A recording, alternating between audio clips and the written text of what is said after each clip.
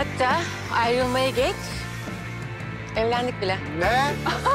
Ya, evlendik. Evlendik. Belçika'ya gidiyoruz. Ne? Yani ayrıldığınızda şaşırıyordum. Evlendiğinizde daha çok şaşırdım.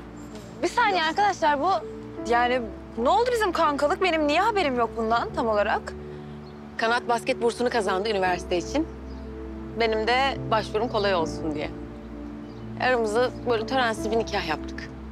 Ya gerçekten aşk olsun bu arada. ya törensiz de olsa bence biz katılırdık. Niye söylemediniz? Kardeşini bile davet etmedi ki. Daha ne olsun?